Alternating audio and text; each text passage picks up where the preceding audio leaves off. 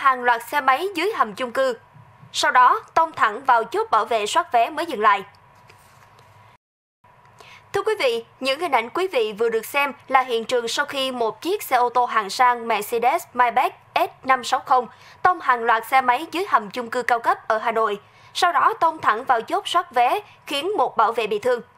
Trao đổi với báo Thanh niên, sáng 27 tháng 5 năm 2022, một lãnh đạo công an phường Xuân La thuộc quận Tây Hồ, thành phố Hà Nội cho biết, đội điều tra tổng hợp công an quận Tây Hồ đang làm rõ vụ việc này.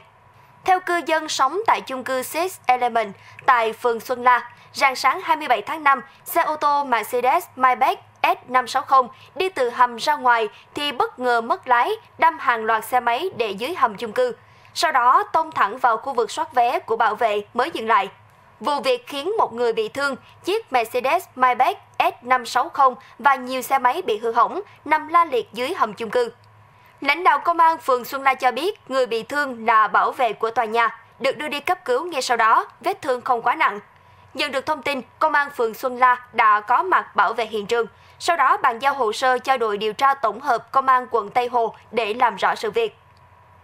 Để theo dõi những thông tin liên quan và cập nhật những tin tức mới nhất, mời quý vị truy cập vào báo Thanh niên theo địa chỉ thanh niên.vn để biết thêm chi tiết.